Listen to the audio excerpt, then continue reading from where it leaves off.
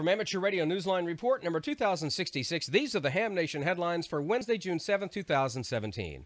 The disappearance of Amelia Earhart. One of, if not the most puzzling mysteries of the 20th century. People are still looking for any trace of her, her navigator, and the aircraft. Amateur radio plays a role as one ham attempts to complete the journey Earhart began eight decades earlier.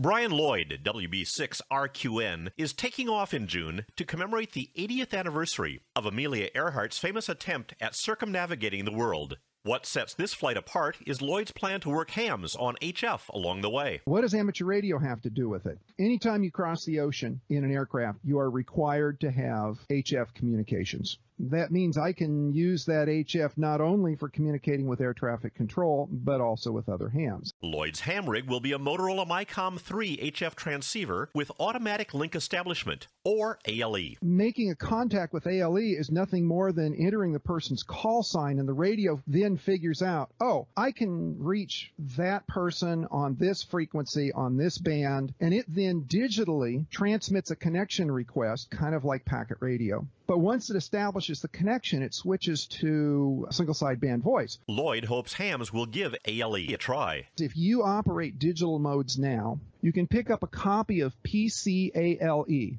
and you will be able to operate ALE communicate with me that way. I'm going to be operating in the DX portions of 40 meters and 20 meters, 17 meters, maybe some 15 meters, depends on band opening. You can track me directly. The web page is projectameliaearhart.org.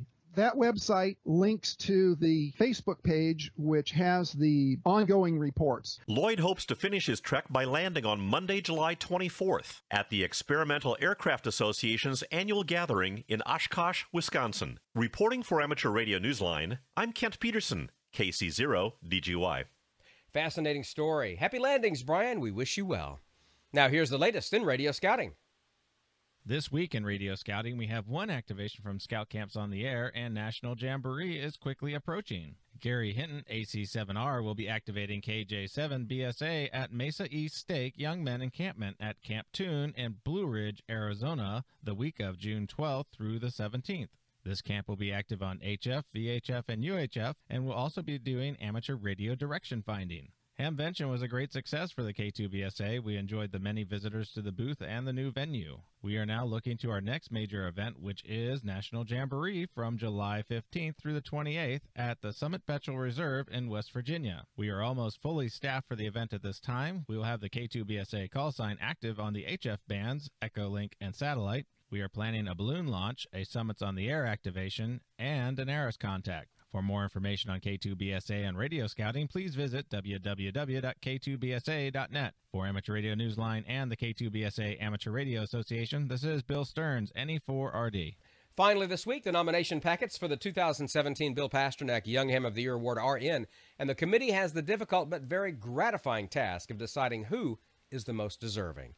We wish we could honor every young radio amateur, but we can only do one a year. We'll find out who that young ham is at the Huntsville Ham Fest in August.